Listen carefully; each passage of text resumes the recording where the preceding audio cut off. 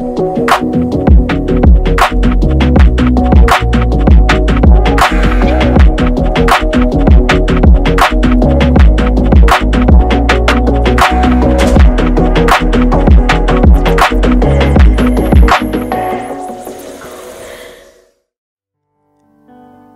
Undivided Friends, terima kasih buat teman-teman yang sudah mengikuti Undivided Festival dari sesi yang pertama sampai sesi yang terakhir di mana pun teman-teman berada.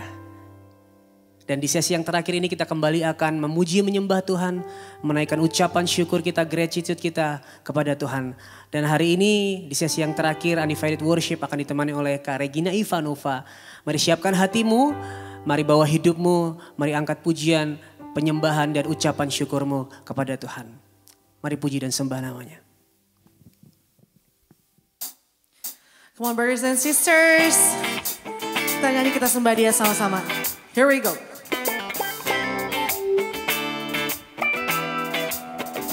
Kasih yang begitu besar Lebih kuat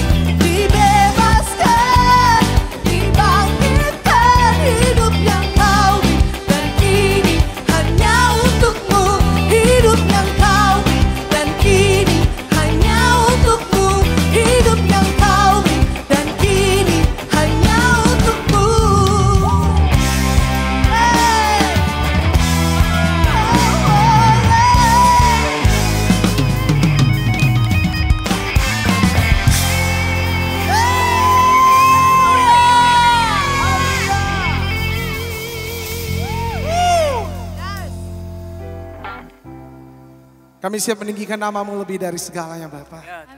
Ini ucapan syukur kami.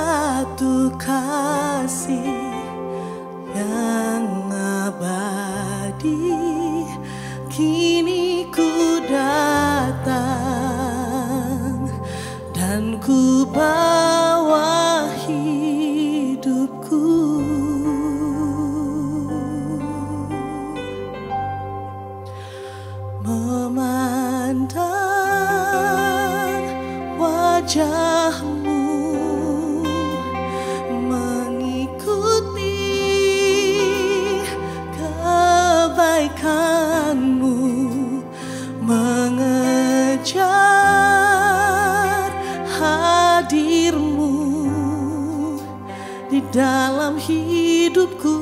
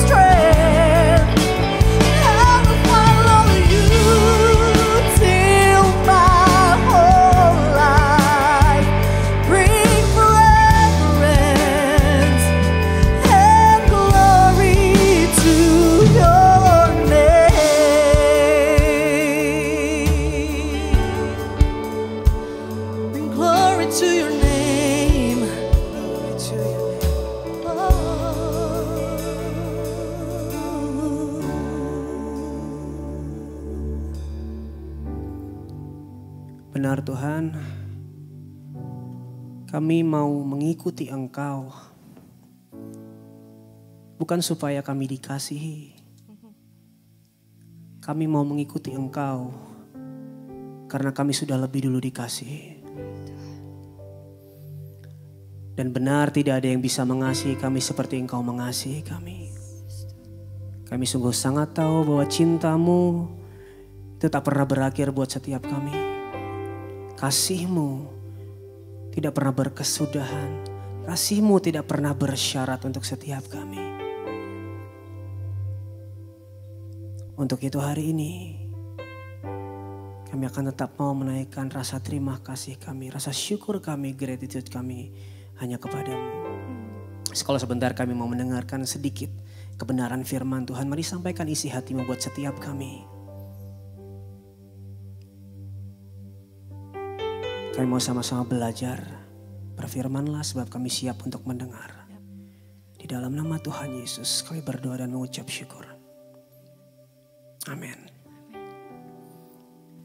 Shalom kembali saya mau menyapa untuk Undivided Friends yang baru saja bergabung di Undivided Festival sesi yang terakhir hari ini. Dan sebentar kita akan sama-sama belajar tentang firman Tuhan. Undivided Festival di ulang tahun Undivided yang pertama ini mengambil tema gratitude atau ucapan syukur, rasa terima kasih dengan subtema faith, hope, and love. Iman, pengharapan, dan kasih. Jadi apa hubungannya antara terima kasih dengan iman, pengharapan, dan kasih? Nah saya akan sampaikan dengan cepat karena waktunya terbatas. Um, kita akan belajar sama-sama dari Lukas 17 ayat 11 sampai 19.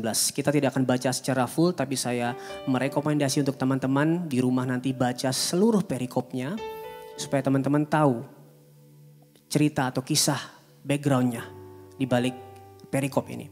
Ini adalah perikop ketika Tuhan Yesus menyembuhkan 10 orang kusta. Ya, kita akan belajar di sini yang pertama ada hope, ada harapan, pengharapan. Di bagian ini, di bagian mana sih yang membicarakan tentang pengharapan?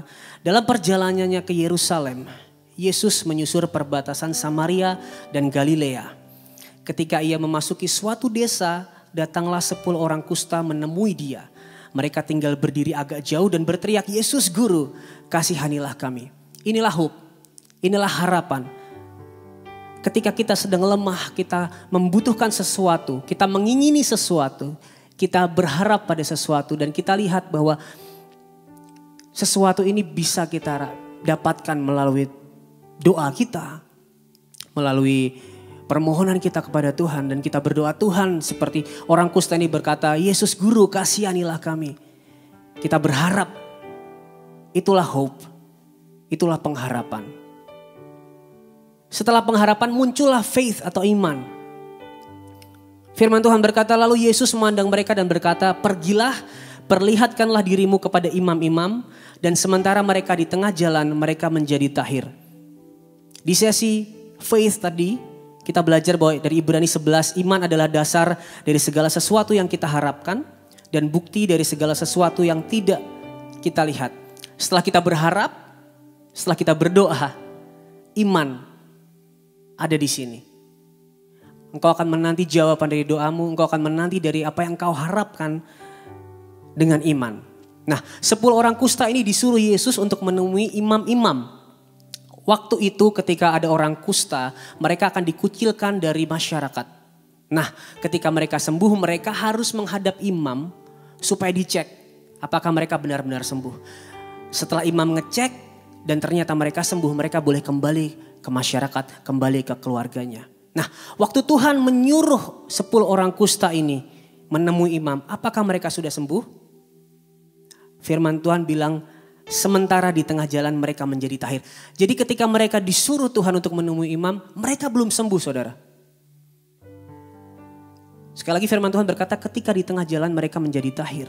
Mereka belum melihat kesembuhan di badan mereka. Tapi mereka tetap pergi kepada imam-imam.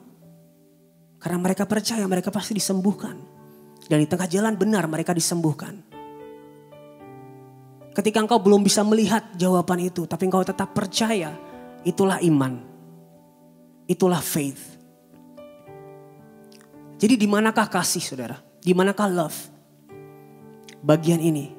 Seorang dari mereka di tengah jalan ketika mereka melihat bahwa ia telah sembuh. Ia kembali sambil memuliakan Allah dengan suara nyaring. Lalu tersungkur di depan kaki Yesus dan mengucap syukur kepadanya. Orang itu adalah seorang Samaria. Di kisah ini ada dua jenis orang. Jenis yang pertama adalah sembilan orang kusta yang lain. Mereka dijawab doanya, dijawab harapannya. Yang mereka imani terjawab saudara. Tapi mereka nggak punya kasih. Makanya mereka tidak kembali untuk berterima kasih. Sekali lagi saya suka sebuah quote dari saudara kita Yoses. Tentang terima kasih. Kita sudah terima banyak dari Tuhan. Maka kita kasih ke Tuhan Kasih apa? Kasih gratitude kita, kasih ucapan syukur kita. That's why ada kasih dalam terima kasih. Karena kita membutuhkan kasih untuk berterima kasih. Jenis yang kedua adalah jenis orang yang kembali seperti satu orang kusta ini. Dia juga berharap dengan kuat, beriman dengan kuat. Bedanya setelah dijawab dia tahu diri. Dia tahu bahwa dia dikasihi lebih dulu. That's why dia bisa mengasihi balik. Dia bisa berterima kasih. Dia punya gratitude atas kasihnya Tuhan yang diberikan melalui kesembuhannya itu. Ini pesan pertama buat setiap kita. Mari jadi seperti orang, satu orang kusta ini yang disembuhkan, yang tahu terima kasih. Yang punya kasih. Yang tetap kembali ke Tuhan setelah harapannya, setelah yang diimani dijawab. Bukan cuma datang waktu butuh, bukan cuma datang waktu berharap, bukan cuma datang waktu beriman. Tapi ketika dijawab itu semua,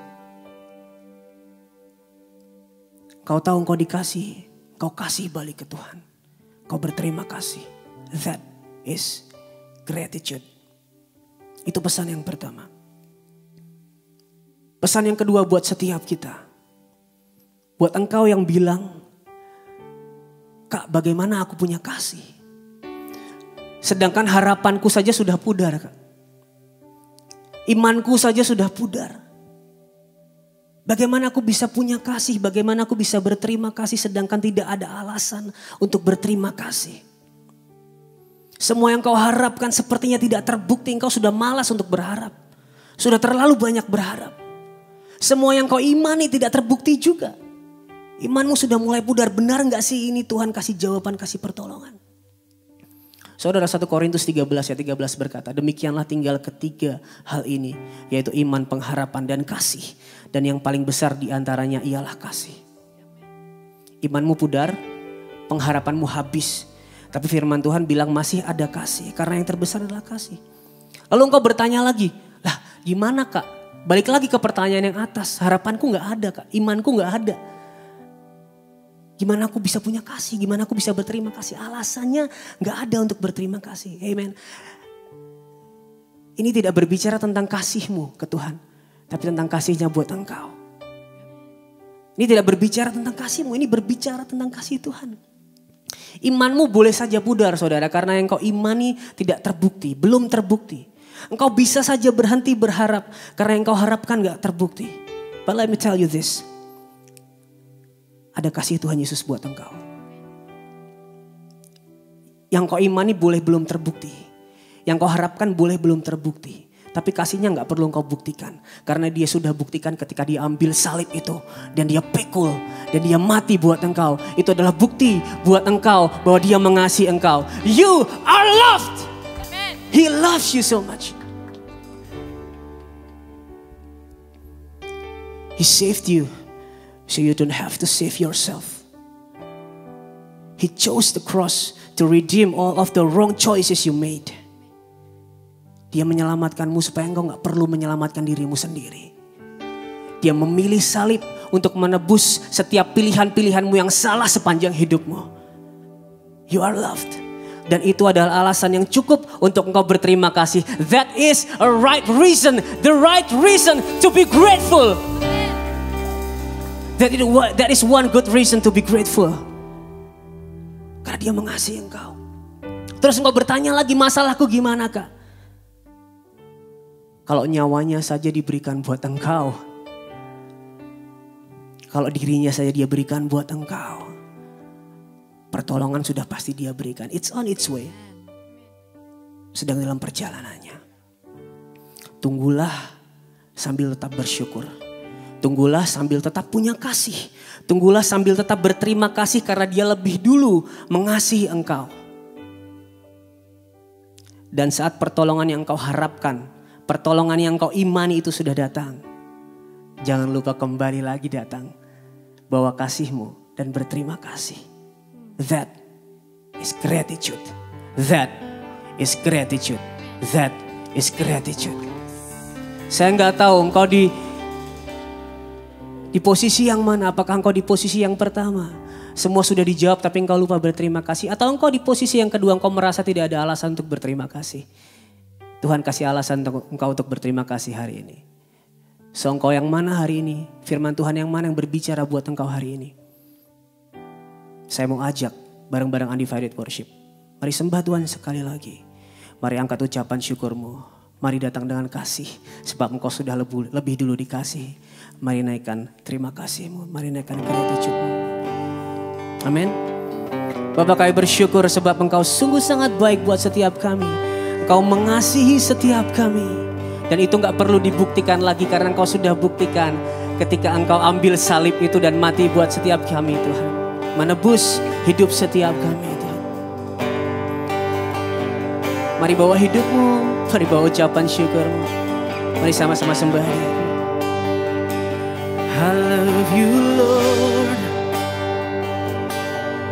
For your mercy never fails me all my days I've been held in your hands. From the moment that I wake up Until I lay my head Oh, I have lived in the goodness of God. Let's say it out together, come on. All my life you have been faithful all my life you have been so, so good. With every breath that I am able, oh, I will sing of the goodness of God. I love your voice. You have led me through the fire in darkest night. You were close like no other. I've known you as a father. I've known you as a friend. And I have lived in the goodness of God. Oh,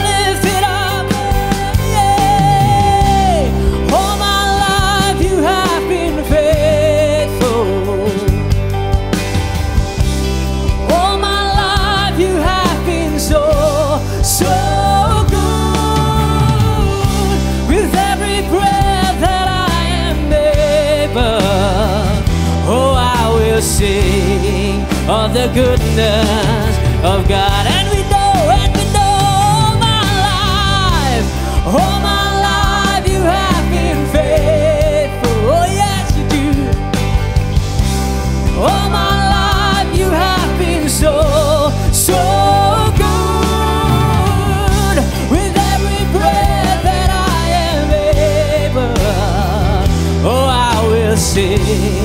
Of the goodness of God. Your goodness, come on. Your goodness is running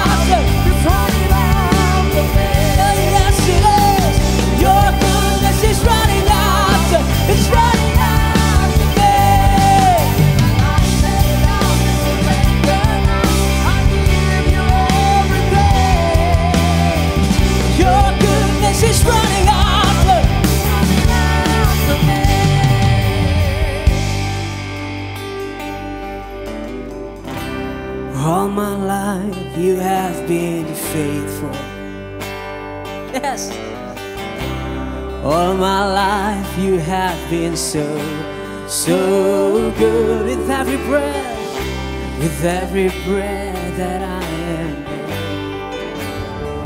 Oh, I will sing of the goodness of God. All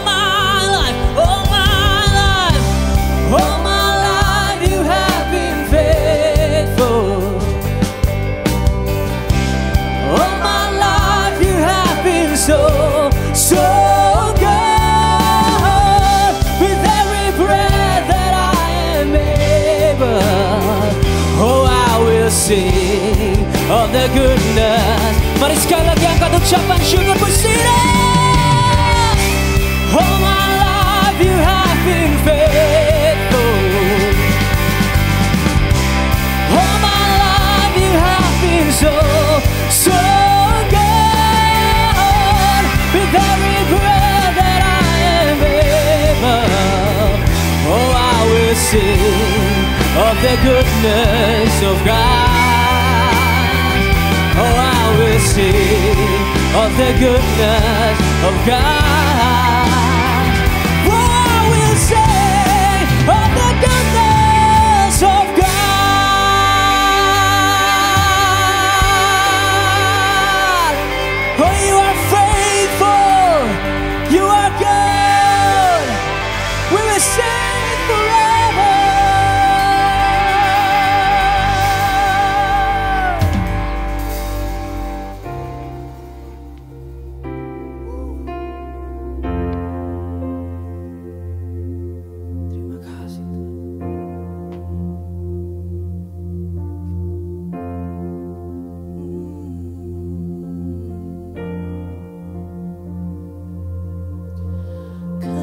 Ke manakah aku dapat pergi? Menjauhi rohmu yang suci Kau sahabat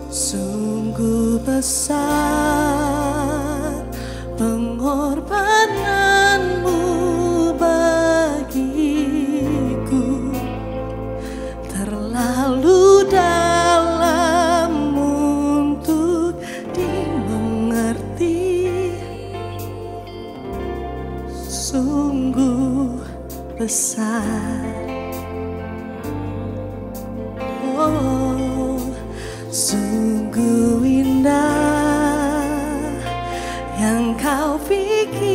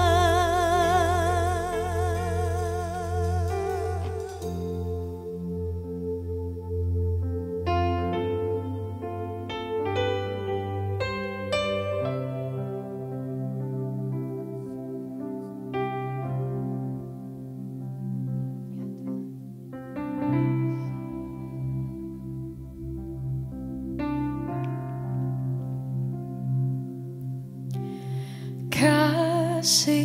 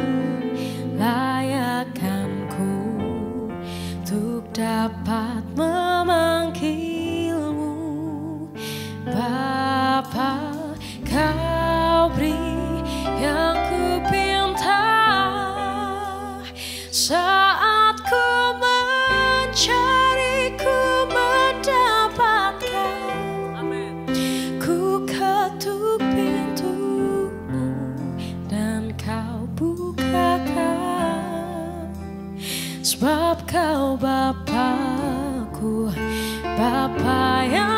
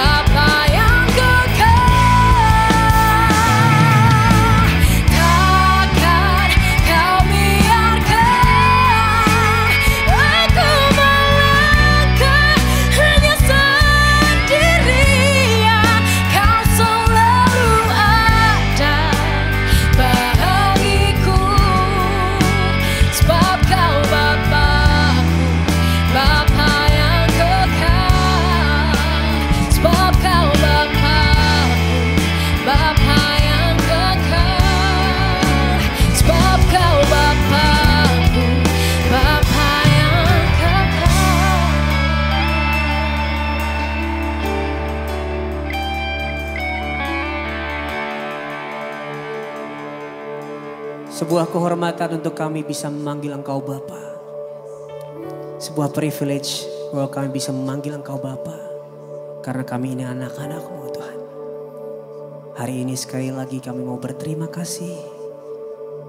Kami mau memberi kasih kami. Sebab Engkau sudah lebih dulu mengasihi kami. Terima kasih Tuhan.